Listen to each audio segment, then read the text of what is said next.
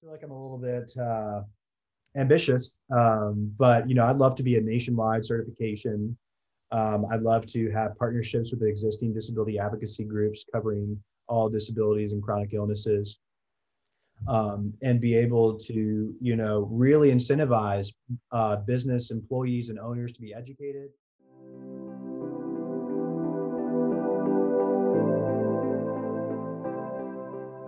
Welcome to King of the Big Dill podcast, hosted by Gretchen Kingma and Tiffany Dill, two Southern gals planted in the Midwest. We are a couple of occupational therapy entrepreneurs here to share our passion. From vacation homes to kitchen utensils, we talk all things universal design. And as universal design influencers, our goal is to create a more inclusive world together. We are kicking off our first season by connecting you with some awesome people here to help you ring in the holiday season with some universal design. Whether you're sipping on your favorite warm beverage or commuting to or from work, tune in and be sure to hit subscribe. We'd hate for you to miss out on the tips, trends, topics, and products that are leading the way within the universal design space. And we sound so good today because we are recording from this little box inside of Maryville's Design and Visual Art Studio. So we would like to give our local design school at Maryville University a shout out.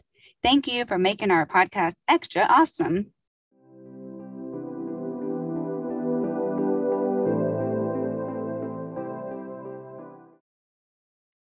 Don't be fooled by how young this guy looks. Joe Jameson is wise beyond his years.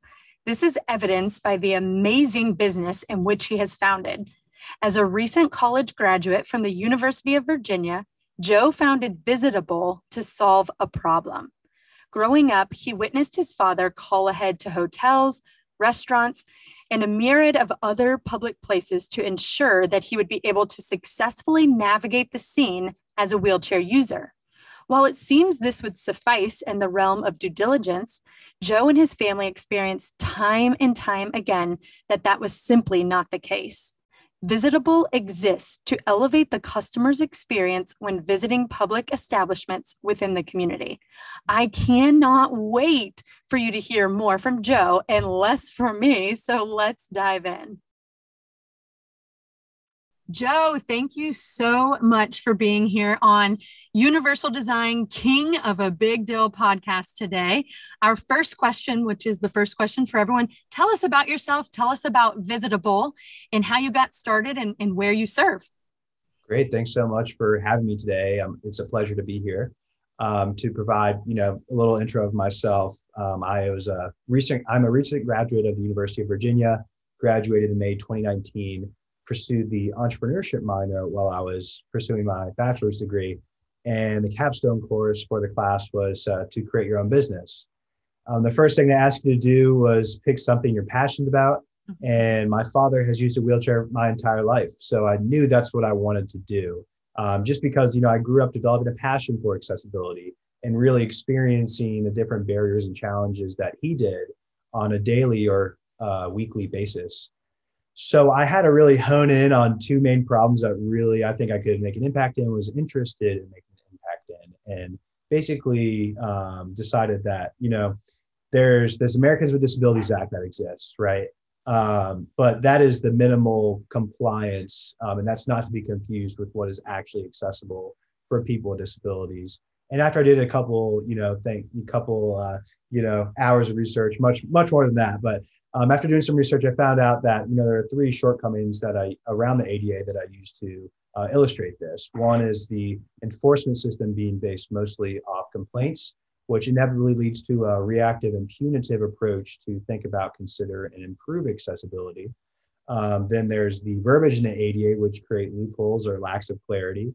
And of course, there are certain guidelines that aren't in the Americans with Disabilities Act, which are important to the disability community, such as how to treat people, verbiage to use, transparency about uh, how to navigate a space, um, and certain physical guidelines as well. Ultimately, it's hard to know how accessible a place is before you go. Um, so my father and I, we used to call ahead to, you know, hotels and various other public uh, facilities, and even going to my graduation from the University of Virginia. Um, and we, you know, would ask how accessible it was, and we'd be bounced around three or four different people to get an answer. We'd uh, have to go deep into his disability and his conditions and his needs for each of those five people for mm. each location we went. Um, or we'd be told inaccurate information. We, they'd say, yes, it's completely wheelchair accessible, come on in. And then we'd be faced with a step or two or would have to turn around and go to some, somewhere else or figure out a different path that wasn't very clear on the phone. So we found that this calling ahead process was, you know, uncomfortable, tedious, and uh, inaccurate or inefficient. And many I've talked to have echoed these experiences and feel the same way. Um, ultimately, you know, at least in our experience, um, and many others I've talked with, this has led to this barrier of uncertainty where people with disabilities are, you know, often going to the same places they already know that they have been to that they know are accessible and welcoming already. Um, and even if you were to magically know if a place was accessible or not, um, there's no guarantee that a person with a disability will be treated the same as their non-disabled counterparts. And that's the second big problem I really wanted to focus on was the mistreatment of people with disabilities. I always give the example of uh, going to a restaurant with my father and having a host or hostess talk with me the whole time and not really acknowledge his presence. So clearly, as you can imagine, that would leave a bad taste in your mouth and you want to go want to go back.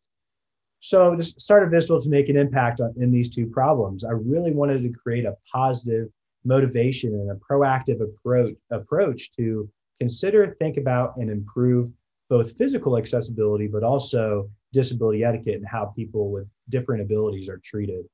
Um, so that is what Visitable is. Our main tool of doing this is through our training certification process, uh, which includes a disability etiquette training. It includes uh, a, an assessment on practical mobility access. It includes a secret shopper with a mobility challenge. It includes um, a report with feedback and suggestions. And it also includes a listing on our database of mobility information to help get rid of that barrier of uncertainty. And right now we are focused mainly on uh, mobility um, and all things mobility challenges, but hope to expand soon in the future. And, you know, we are mostly in, the, in the uh, the greater Charlottesville, Central Virginia area, but hoping to um, expand very soon. That's amazing. Thank you so much for sharing all of that information, especially the ADA uh, minimum requirements and highlighting that because so many people do not know that um, those aren't often, they're often missed too because there's a lot of violations and a lot of errors from the um, ADA compliancy. Um, but you also highlighted another thing about employees not maybe understanding what ADA is when it comes to accessibility. So when you do call ahead, maybe those employees do not know much about the ADA as well. So thank you for highlighting that as well. Um, and I know like even after building go through inspection, maybe the employees go in, they put things in the um, the clearance and the turnaround clearance, or they're obstructing the um, the pathways and that sort of thing. So thank you so much for highlighting that again. Um, so our next question is basically a fun question. And um, since you and your father, you've shared the several experiences, the challenges that you guys have faced throughout your time um, in your local community and beyond. So with that being said, what are some of your favorite father and son memories um, or activities that you guys have done together that may have been more pleasant? Okay, that's a great question. Um, so I'll start off with that's almost two different questions I interpret it as. Yeah, it um, is. um, but the but the I'll I'll start with the memories that you know are most pertinent to me. Um, one is that my father w- worked at the U.S. Department of Agriculture, and I remember going to bring your son to work day and them having um, you know the got milk mustaches posters and everything I got like signatures from NFL players and like oh, was wow. able to uh, get my own poster or picture with my dad where we had milk mustaches and we could try it for ourselves. Um, I remember, you know, going to DC with that and my dad taking me around in his car. And um, I also remember, you know, going on several vacations too. And um, that, that that's great. Like going on vacations. Like I remember Hawaii was a big one we went to. And we went to Northern California and toured some uh, wineries and stuff but vacations are hard, honestly. Yeah. Um, when we go on vacations, there, um, it starts at hotels, and uh, it's uh, that's like, uh, and that's probably the most complicated part, honestly. Uh, just being able to get the accessible room that you want uh, and have all the accommodations that you need. Um, and then there's you know, um, some of the recreational activities um, on vacation that, you know, aren't as accessible as you, you would hope. You don't want, you know, I don't want my dad sitting in a car like in, you know, while my family and I are are doing things, right? I want him to be involved.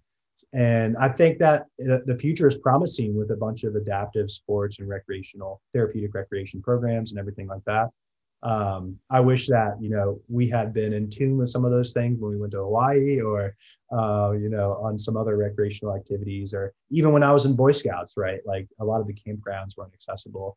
Um, so yeah, those are some of my fond memories and some of the things that I wish had been greater memories as well, um, but weren't because of the due, due to the lack of access information and such.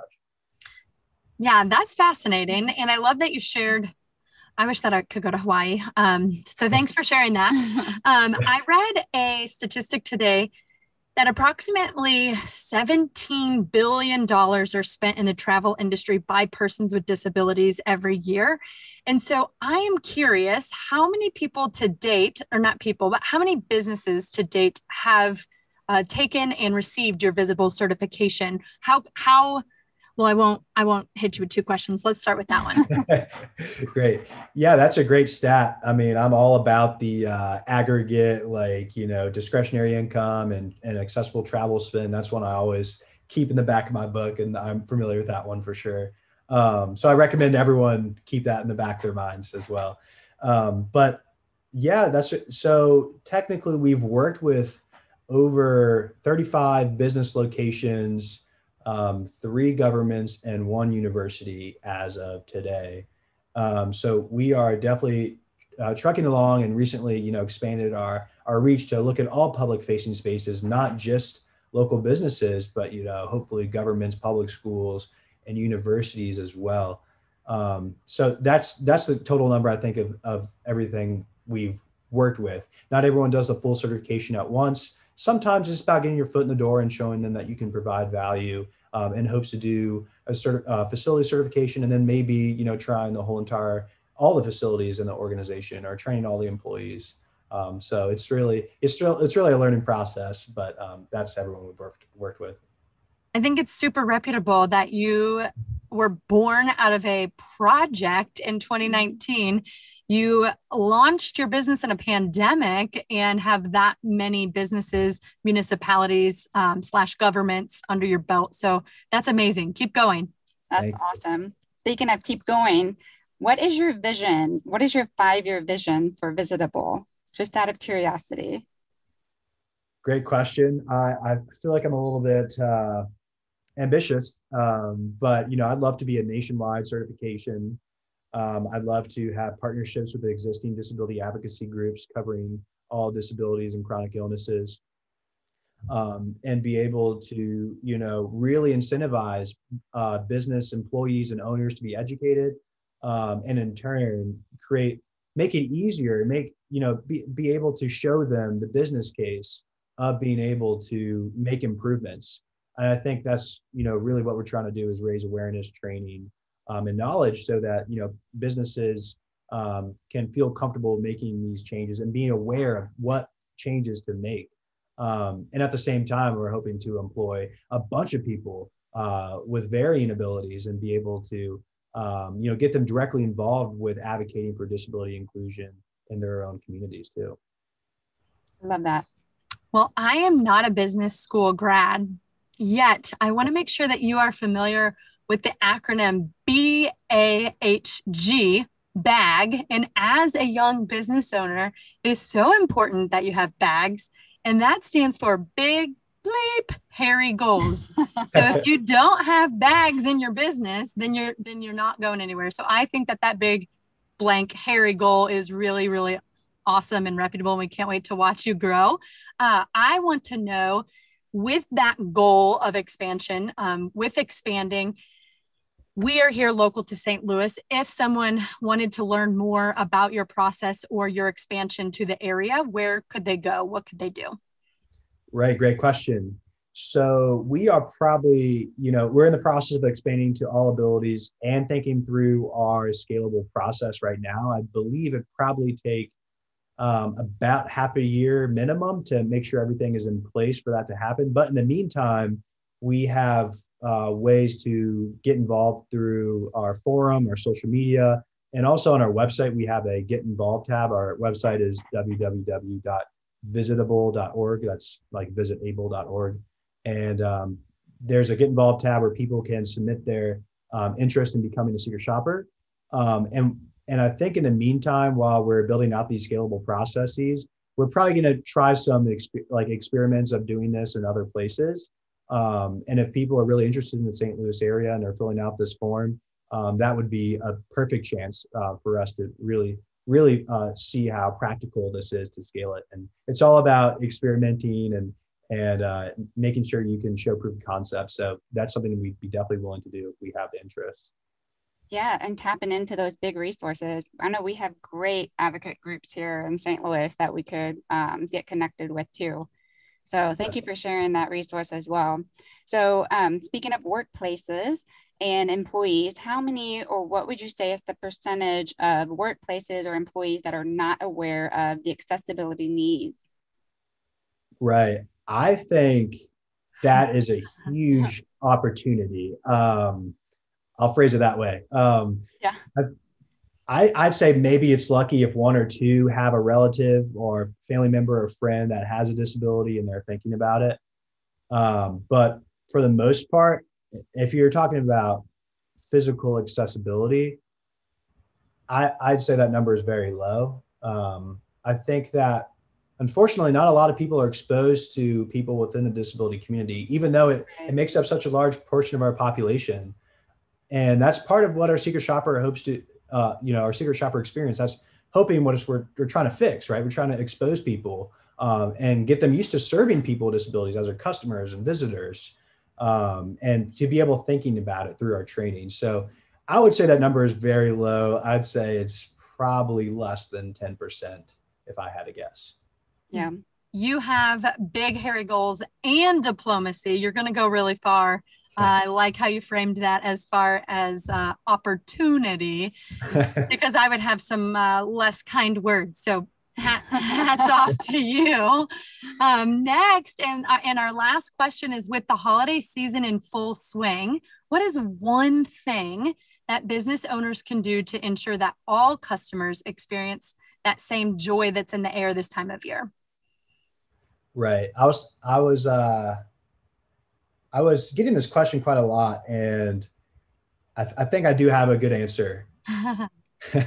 um, I think I think it's honestly about making sure you keep a diverse crowd around you, giving you um, input and feedback. People of all abilities, all genders, like all nationalities, everything, right? Um, to make sure that you are being inclusive to everyone.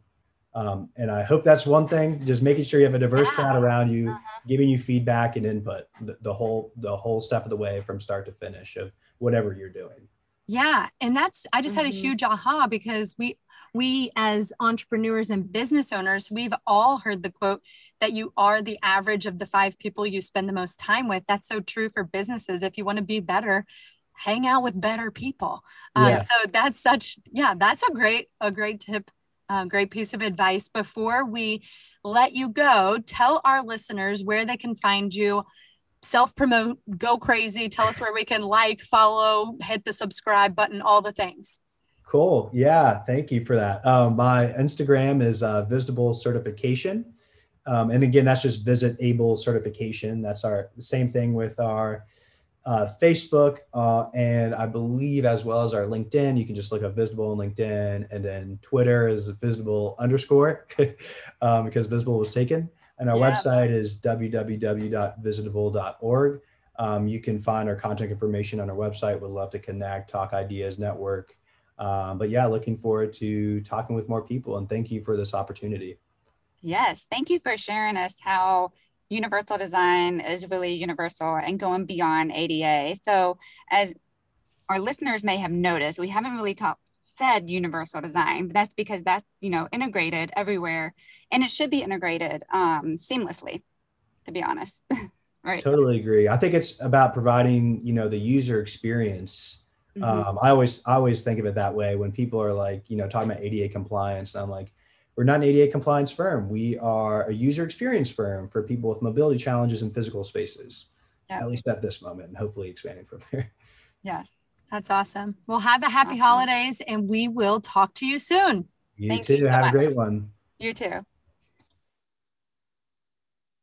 And remember, if you don't take away anything from this podcast, be sure to Go, go beyond. beyond ADA. ADA.